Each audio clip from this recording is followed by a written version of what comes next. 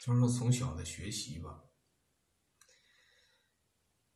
到现在课外的书已经读了，我们纸质书起码有两百本，两三百本。如果再加上电子的视频呢，找的一些资料啊，那因为视频呢信息量又大又快，语音呢，喜马拉雅书啊，听书光听都听了得有几百本，在路上啊，坐着车，嗯。平时洗衣做饭，平时都会听，反正感觉耳旁啊清静的时间很少，一直都很好学。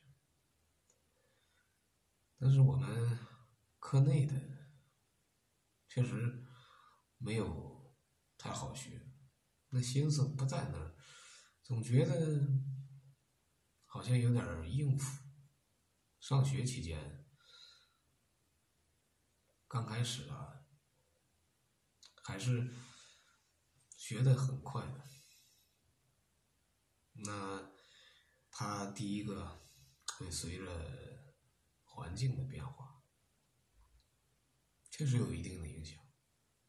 所以说，为什么老让孩子想到好的环境下，小孩子容易被带着走，受环境影响比较大。那有好的老师自然是，我记得我一直是考十几名，成绩相当稳定。只不过呢，小学是一类的小学，中学是二类的，那高中变三类的，那就比较麻烦了。那总到那个点。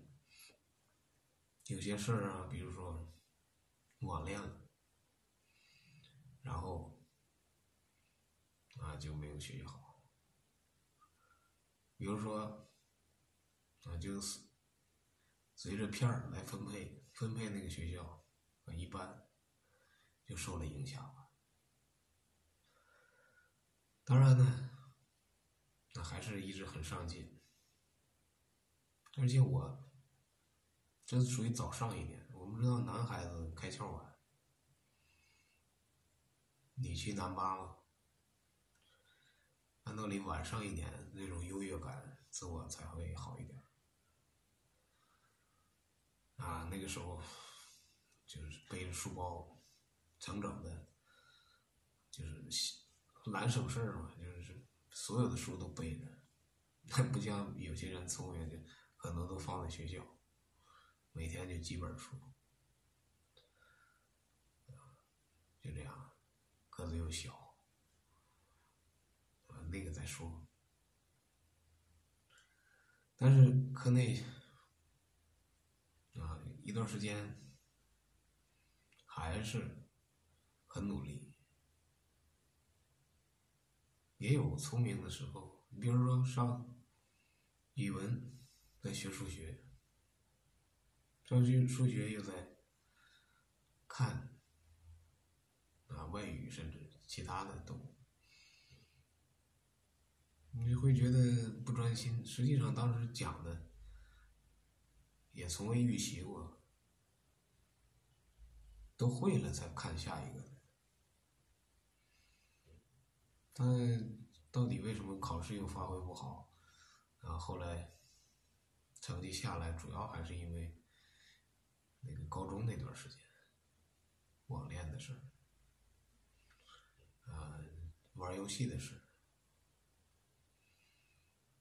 会觉得这些东西学了也没用。从小就有这种感觉，确实我们真正靠它用的不多，就是那一纸空文，一个文凭的敲门砖而已。所以很早就。涉及到追寻内心所想、生活所需的这方面，一是赚钱，二是心灵。